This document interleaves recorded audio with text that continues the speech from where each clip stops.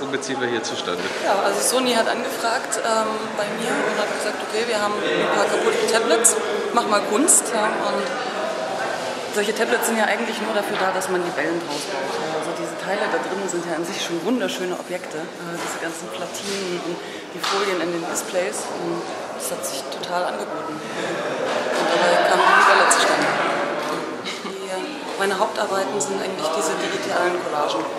Also es ist so, dass ich seit ich 2011 in China gelebt und gearbeitet habe, seit ich wieder zurück in Deutschland bin, es mich doch immer wieder hinzieht. Also ich bin in der Regel drei, vier, fünf Monate im Jahr wieder in Shanghai und dort sammle ich das Material für meine Collagen.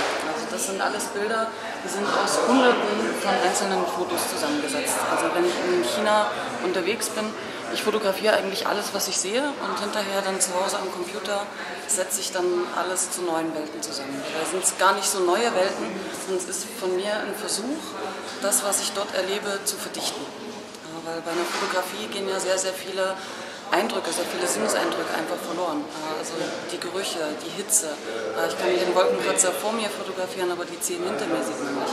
Und um eben diese ganzen fehlenden Eindrücke zu kompensieren, verdichte ich alle diese Bilder, die ich dort aufnehme, zu einem einzigen.